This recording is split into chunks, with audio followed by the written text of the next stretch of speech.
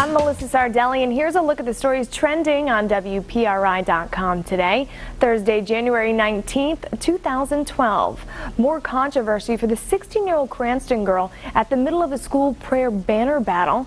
A Wisconsin-based group called the Freedom from Religion Foundation wanted to send Jessica Ahlquist a dozen roses, all to recognize the atheist fight to remove the decades-old prayer banner from Cranston West.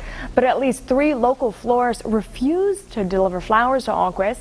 In the meantime, the foundation plans to file a human rights complaint against the other stores. Eyewitness News has learned a florist in Putnam, Connecticut will be delivering the roses. From the South County Mobile Newsroom, Eyewitness News is in South Kingstown, where a gas station employee was shaken up after an armed robbery. It happened at Potter's service station in Wakefield Tuesday night. The worker was closing up for the night when two men forced him to his knees at gunpoint. He handed over $250, but says the robbers wanted more. They tried getting me to like break break into the safe. I don't know the code. They, you know, tried threatening me with the knife and the gun and all that, but I just told them, you know, like, you're not going to get it. We're told the robbers took off on foot.